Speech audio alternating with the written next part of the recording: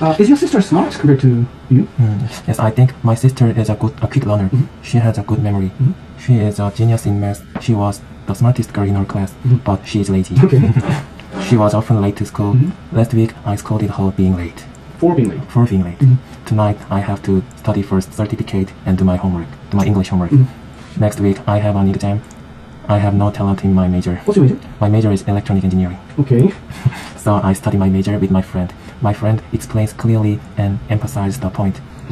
It would not be difficult that I pass the exam. Hmm. Okay. You got a tutor.